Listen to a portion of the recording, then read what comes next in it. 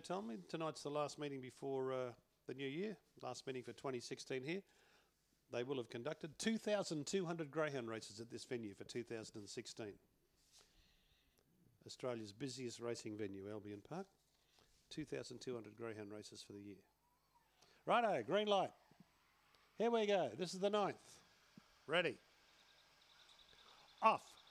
Out well there was Cosmic Cindy. She's going to take the lead. Tear it down, coming down the outside to second, and Birkdale Bandit got through into third placing, followed there by on the inside was Fashion Advice. Well back, Fiery Benz, Direct Terror, Blitzum, and Kaziko. Down the back, Cosmic Cindy out by two and a half on Tear It Down. Three lengths away then came Fiery Benz, getting up on the inside to third, and further back then was Direct Terror. Cosmic Cindy in front around the corner, still holding a margin near the line. Or Gino, Tear It Down, dived and got it.